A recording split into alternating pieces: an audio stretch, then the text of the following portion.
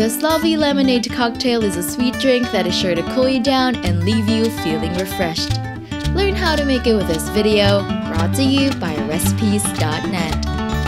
Into a mixing glass with ice cubes, add some Hennessy Cognac VS, the perfect puree mango puree, DeKuyper triple sec, simple syrup, and lemon juice.